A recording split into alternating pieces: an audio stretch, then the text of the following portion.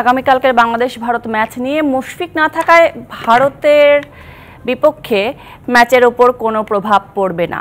দলের সবাই যথেষ্ট ম্যাচুর এশিয়া কাপে নিজেদের শেষ ম্যাচে কোহলিদের বিপক্ষে জয়ের টার্গেটেই নামবে টাইগাররা।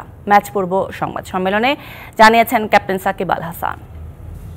যারা ন্যাশনাল টিমে খেলে সবাই কেপেবল দেখেই খেলে। সো এখানে এক্সপিরিয়েন্স ইনএক্সপিরিয়েন্স এক্সপিরিয়েন্স নাই, নতুন, পুরান, এগুলো নিয়ে আসলে চিন্তা করে না।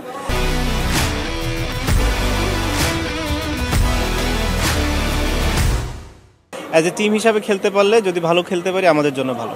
আমরা যাব আমাদের যতটা সম্ভব ভালো খেলা যায় জেতার জন্য। আমরা যদি লাস্ট ম্যাচও জিতে দেশে যেতে পারি, অবশ্যই এটা আমাদের জন্য একটা ভালো দিক হবে।